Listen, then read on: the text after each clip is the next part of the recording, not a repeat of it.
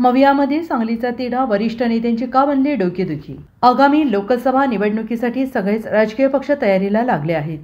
भाजपने वीस तर काँग्रेसनं सात जागांसाठी उमेदवारी यादी जाहीर केली आहे परंतु अद्यापही महायुती असो वा महाविकास आघाडी यांच्यातील जागा वाटपाचा फॉर्म्युला जाहीर करण्यात आला नाही.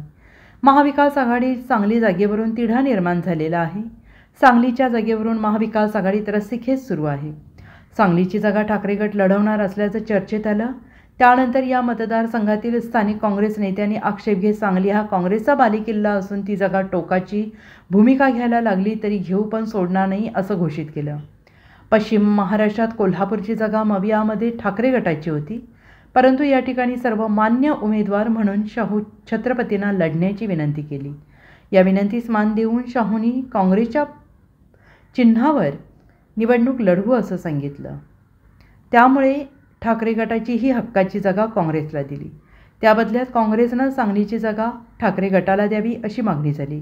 इतकेच नाही तर ठाकरे गटाने या जागेसाठी उमेदवार म्हणून पहिलवान चंद्रहार पाटील यांच्या नावाची घोषणा केली. मात्र सांगलीची जागा आमचीच आहे यावर आमचे उमेदवार असतील असं काँग्रेस नेते सांगत आहेत. तर या जागेवरून आता आम्ही दिल्लीत चर्चा करू.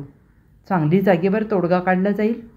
या ठिकाणी चंद्रहार पाटील उभे राहतील असं वारंवार ठाकरे गटाचे खासदार संजय राऊत सांगतायत.